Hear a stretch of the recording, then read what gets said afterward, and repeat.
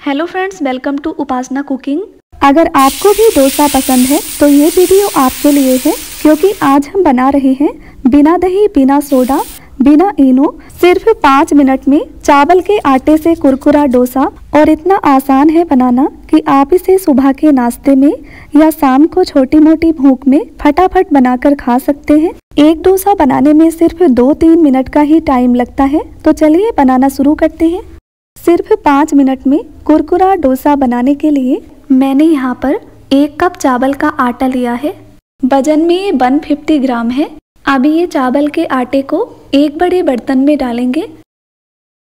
डोसे को क्रिस्पी बनाने के लिए इसमें ऐड करेंगे दो चम्मच सूजी, एक छोटी चम्मच जीरा, आधा छोटी चम्मच नमक। नमक आप अपने टेस्ट के अनुसार कम ज़्यादा कर सकते हैं। एक मीडियम साइज़ की बारीक कटी हुई प्याज। प्याज डालना ऑप्शनल है। अगर आप प्याज नहीं खाते तो प्याज को हटा भी सकते हैं। दो बारीक कटी हुई हरी मिर्च। दो बड़ी चम्मच कद्दूकस की हुई गाजर। चाहे तो आप गाजर को बारीक बारीक काट कर भी ले सकते हैं। दो बड़ी चम्मच बारीक कटा हुआ हरा धनिया। एक छोटी चम्मच कद्दूकस किया हुआ अदरक। अब इन सभी को अच्छे से मिक्स कर लेते हैं। अच्छे से मिक्स करने के बाद, अब हम इसमें डालेंगे पानी। हमने एक कप चावल का आटा लिया था तो हम उसी कप से इसमें पानी डालेंगे। मैंने ये एक कप पानी डाल दिया। पहले एक कप पानी डालकर अच्छे से मिक्स कर लेते हैं, ताकि इसमें गाठे ना बने। एक साथ सारा पानी डालेंगे तो बैटर में गाठे बन सकती हैं। ये देखिए, ये गाढ़ा सा बैटर तैयार हो गया। अभी ये काफ़ी गाढ़ा है तो अब हम इसमें एक कप पानी और डालेंगे। और अच्छे से मिक्स कर लेते हैं। हमने एक कप चावल का आटा लिया था। हमने इसमें दो कप पानी डाला है। तो हमें एक कप चावल के आटे भी दो कप पानी डालना है।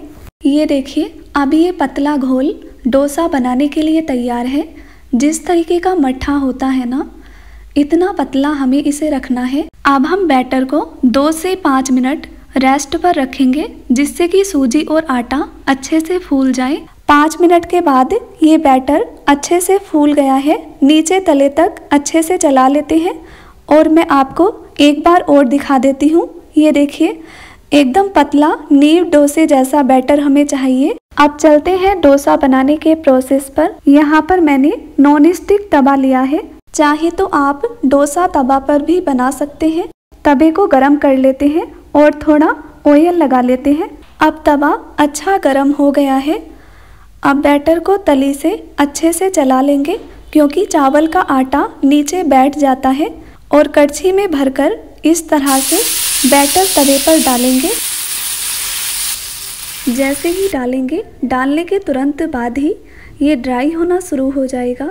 अब गैस की आँच को मीडियम कर देंगे और मीडियम आँच पर डोसे को सिकने देते हैं। एक मिनट में ये सीख गया। अब इस पर थोड़ा ऑयल या घी लगा देते हैं। ये देखिए, ये डोसा साइड से तवे को छोड़ने लगा है और बिना स्पैचुला डाले ही ये कितने अच्छे से उठ रहा है। तो बस अब इसे पलटकर इधर की साइड भी थोड़ा सा सेक लेंगे, बस कुछ सेकंड के लिए। और आप देख सकते हैं कि डोसा का कलर भी कितना अच्छा आया है। तो पाँच से दस सेकेंड के लिए डोसे को इधर की साइड भी सेक लिया है। अब दोनों साइड डोसा अच्छे से सीख गया है तो अब इसे एक तवे से उतार लेते हैं। बहुत ही बढ़िया डोसा बना है और चावल का आटा सर्दियों में सभी के पास अवेलेबल होता है और सुबह नाश्ते में या डिनर में डोसा मिल जाए तो क्या बात है। बनाना भी कितना आसान है। फटाफट घोलो और डोसा बना लो। अब दूसरा डोसा भी सेम उसी तरीके से बना लेंगे। पहले तवे को ऑयल लगाकर ग्रीस करेंगे और बैटर को तले तक अच्छे से चलाकर तेज गरम तवे पर डालेंगे। तो इसी तरीके से तवे पर कड़छी घुमाते हुए बैटर डालना है। एक डोसा बनाने के लिए मैंने दो कड़छी बैटर डाला है। अब मीडियम आँच पर डोसे को सिकने देंगे। एक डेढ़ मिनट के बाद ये सिक गया है तो आप दूसरी साइड पलट देंगे। पाँच दस सेकेंड के लिए इधर भी सिकने देते हैं। और ये देखिए, दोनों साइड डोसा अच्छे से सिक गया है तो अब डोसे को तवे से उतार लेते हैं। एक डोसा बनाने में आपको तीन मिनट का टाइम लगेगा। और बनाना इतना आसान कि ना ही तो चिपकेगा। और फटाफट से बैटर घोलो, सिर्फ़ पाँच मिनट में, बिना इनो, बिना बेकिंग सोडा बिना दही कुरकुरा डोसा बना लो। वो भी चावल के आटे से। तो आप भी ये चावल का डोसा ज़रूर ट्राई कीजिएगा। फिर मिलते हैं एक और नई रेसिपी के साथ। तब तक के लिए थैंक यू फॉर वॉचिंग